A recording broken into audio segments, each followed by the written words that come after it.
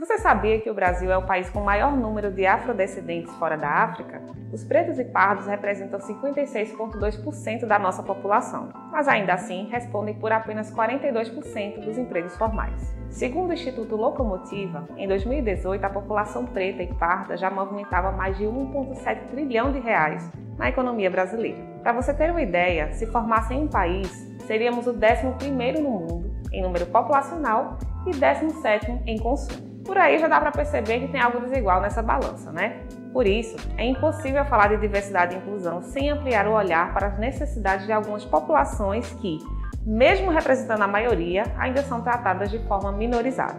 E isso não tem nada a ver com militância. Estamos falando da responsabilidade social das empresas e, claro, de estratégias que vão ajudar você a melhorar o ambiente de trabalho e, de quebra, posicionar sua marca na lembrança dos consumidores. Eu sou Débora Lima, analista técnica do Sebrae Alagoas, e te convido a pensar mais sobre diversidade. Para começar, precisamos entender que as pessoas pretas e pardas sofreram com a escravidão por mais de três séculos, e isso imprimiu padrões que, infelizmente, marcam nossa sociedade até hoje. Mas vamos combinar que é impossível falar de uma sociedade mais justa quando alguns de nós são privados de oportunidades por causa da cor da pele. Você sabia que, segundo o IBGE, o salário de uma pessoa preta é 46% menor que de brancos com o mesmo grau de escolaridade? Isso não tem nenhuma lógica, não é?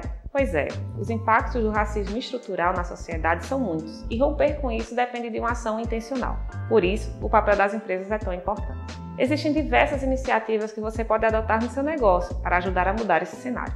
Vem comigo que eu te explico. Primeiro, vamos olhar pela perspectiva do mercado e tentar entender a força de consumo de pessoas pretas e pardas. A população preta, assim como diversos outros perfis, tem necessidades e preferências específicas, que vão desde produtos de beleza para pele e cabelos a roupas e acessórios. Algumas marcas nasceram para atender exclusivamente essas demandas, outras estão se atualizando constantemente para atender os desejos do seu público. Um bom exemplo é o Boticário, que já tem investido em produtos como a linha Make Be para diversos tons de pele, partindo do mais claro para o mais escuro. E também tem outro aspecto que precisamos falar: o atendimento. Preconceito e discriminação são crimes em qualquer circunstância. E mais que isso, é importante entender que o racismo na relação de consumo é crime inafiançável e imprescritível. Então eu nem preciso apelar para o bom senso para dizer que práticas preconceituosas são abominadas e indefensáveis. Como eu disse, os reflexos da escravidão ainda são muito fortes na nossa sociedade. Então ainda temos a herança de uma cultura extremamente preconceituosa, com expressões, piadas e atitudes inconscientes que manifestem os sinais do racismo. Por isso, o treinamento da equipe é fundamental para identificar esse comportamento e investir no atendimento mais humanizado.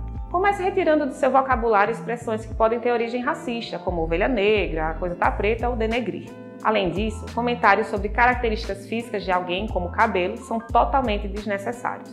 Exija dos seus colaboradores tratamento igualitário a todos, evitando desconfiança e perseguição baseada em estereótipos. Uma outra boa prática é representar pessoas pretas em suas peças de comunicação e promoção. O público precisa se identificar com as imagens que você utiliza em materiais de divulgação e vendas, como um comercial de TV ou no seu site, por exemplo. E parece óbvio, mas não custa reforçar. A diversidade também deve estar refletida na sua força de trabalho, o que nos leva ao tópico de gestão de pessoas. No último episódio dessa série, que está linkado aqui embaixo, já falamos sobre como as empresas que investem em diversidade no seu quadro de colaboradores tendem a ganhar vantagem competitiva no mercado de trabalho.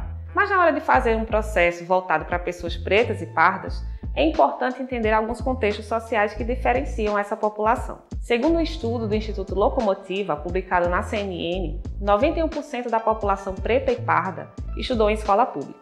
Além disso, só 11% concluíram o ensino superior. Fora o fato de que 89% nunca fizeram um curso de inglês. Então, quando for abrir uma vaga de trabalho na sua empresa, eu recomendo repensar as exigências. A fluência em língua inglesa, por exemplo, é fundamental para a função? O local de residência do participante interfere na vaga? Esse assunto não se esgota aqui, mas eu quis trazer para você aquilo que, na nossa experiência, nos chama mais atenção na gestão das empresas.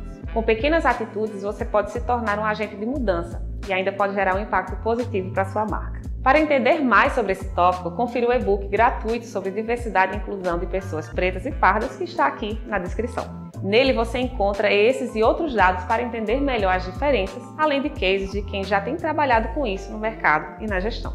Se você gostou desse vídeo, não esquece de curtir, compartilhar com os amigos e se inscrever no canal. Até a próxima!